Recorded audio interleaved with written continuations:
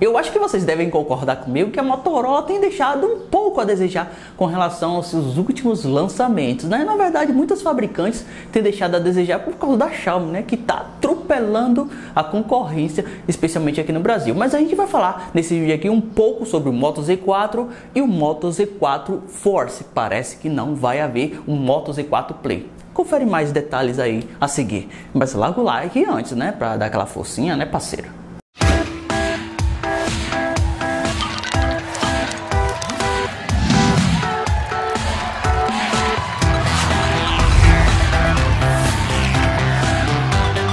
E aí galera, tudo beleza? O Anderson Conceição aqui do canal Meu Smartphone. A gente vai falar um pouco sobre a quarta geração da linha Moto Z da Motorola, aqueles smartphones modulares da Motorola, né, que você coloca o snap ali atrás, tem vários snaps disponíveis. Então, a Motorola está seguindo aí a tendência, mantendo o design desses aparelhos para que as pessoas que compraram os snaps possam ser reaproveitados em todas as gerações. Mas já está na hora da Motorola fazer alguma mudança drástica aí, porque a galera já está enjoada do Moto Z porque não a traseira não pode mudar por causa do suporte aos snaps. Então, a galera iria reclamar se a Motorola mudasse, mas agora a galera está pedindo muito que a Motorola mude de alguma forma. Não tem nem como você deixar um aparelho maior ou menor por causa dos snaps, né? E nem deixa ele mais, mais compacto. Eu acho que ela só pode deixar o Moto Z mais espesso. Mas enfim, eu acho que a Motorola tem que se reinventar de alguma forma, porque a Xiaomi está passando por cima da concorrência e ela tem que cativar os seus clientes aqui no Brasil, porque a Motorola vende muitos smartphones aqui no Brasil. Enfim, Moto Z4. A gente não vai enfatizar muito sobre o Moto Z4 porque já tem vídeo meu aqui no canal sobre ele. É, a gente quer falar sobre o Moto Z4 Force, que é o topo de linha que muita gente estava falando, reclamando. Ah, a Motorola não tem um topo de linha, isso e aquilo. Então parece que a Motorola vai trazer de volta o Moto Z4 Force em uma versão topo de linha. Não se sabe se ela vai comercializar aqui no Brasil, porque aqui no Brasil ela só costuma comercializar os aparelhos intermediários, intermediários premium, que é o que ela vende mais. E como eu disse no início do vídeo, parece que esse ano não vai haver um Moto Z4 Play, e sim o Moto Z4 na versão tradicional e o Moto Z4 Force. O Moto Z4 tradicional será o intermediário que virá com processador Snapdragon 675, não processador meia boca, e é, ao contrário do topo de linha, que é o Moto Z4 Force, vai vir com processador Snapdragon 855 com 6 ou 8 GB de memória RAM e 128 GB de armazenamento. Já o Moto Z4 na versão tradicional vai vir com 4 GB de memória RAM, 64 GB de armazenamento. Esse novo processador aí, se comparado ao do ano passado, que veio com o processador Snapdragon 636,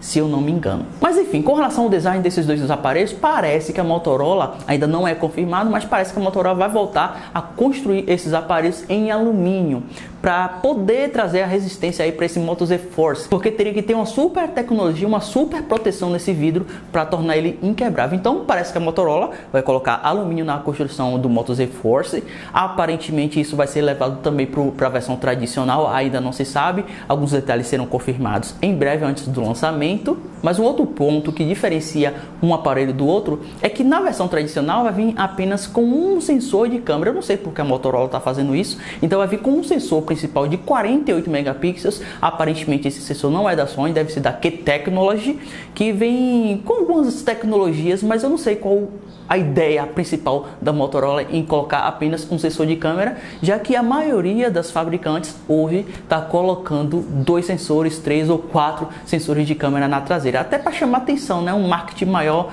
ou coisa do tipo. Mas aparentemente esse aparelho deve vir com modo noturno, com modo retrato para ser feito através da câmera frontal, através da câmera traseira, porque isso é um recurso que já existe hoje nos aparelhos da Motorola já o Moto Z4 Force, ele vai vir com três sensores de câmera. Ainda não tem imagens sobre esse aparelho, mas foi uma notícia que saiu recentemente e vários sites de tecnologia mundo afora começou a publicar. Então, o Force vai vir com três sensores de câmera. A câmera principal de 48 megapixels, provavelmente vai ser da Sony porque ele é um topo de linha. A segunda câmera para fazer fotos no modo retrato e o terceiro sensor, um sensor de zoom, né, para aplicar zoom nas imagens sem perda de muita qualidade. Um outro detalhe interessante que muita gente havia reclamado também era a capacidade de bateria da linha Moto Z. 3000 mAh é uma capacidade pobre. Então a Motorola voltou a ser um pouco generosa nesse meio, vai deixar o aparelho um pouco mais espesso aparentemente e vai colocar uma capacidade aí de bateria de 3.600 mAh para os dois smartphones. Aparentemente a versão Force vai vir com 3.632 mAh na bateria. É uma capacidade muito boa, né? E pelo menos vai tapear a galera aí que está reclamando muito, né? Então, nesse ponto, a Motorola deu uma dentro. Outro ponto interessante que eu achei plausível é que a Motorola vai manter a entrada para fone de ouvido que ela havia removido em gerações anteriores. Como no Moto Z2 Play, ela removeu a entrada para fone de ouvido e ela vai colocar agora na quarta geração, vai colocar de volta, porque ela viu que parece que não deu muito certo, né? Alguns fabricantes pode dar na cara aí, pode fazer isso na ousadia, remover mesmo que vai continuar vendendo. Como a Apple, a Samsung não faz isso. Outra fabricante, a Xiaomi, a Xiaomi vende muito mesmo com os aparelhos sem entrada para fone de ouvido, porque ela tem respeito no mercado para fazer isso. A Motorola só vende muito aqui no Brasil, lá fora eu não sei tanto assim.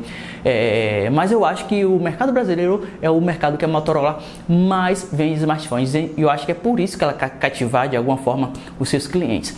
Bom pessoal, eu não entrei muito em detalhes técnicos, só coloquei algumas, algumas, alguns comentários sobre esse aparelho, algumas novidades que serão implementadas na quarta geração da linha Moto Z4 da Motorola.